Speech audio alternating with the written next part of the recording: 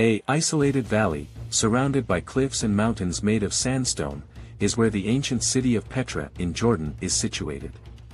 It was said to be one of the locations where Moses reportedly struck a rock to cause it to break open and release water.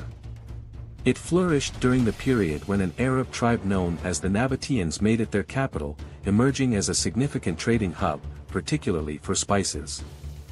Famous carvers, the Nabateans carved homes, temples, and tombs into the sandstone, which changed hue with the waning sun. They also built a water system that enabled them to cultivate and create lush gardens. Petra's population is said to have reached 30,000 at its peak. Trade routes changed, though, and the city started to deteriorate.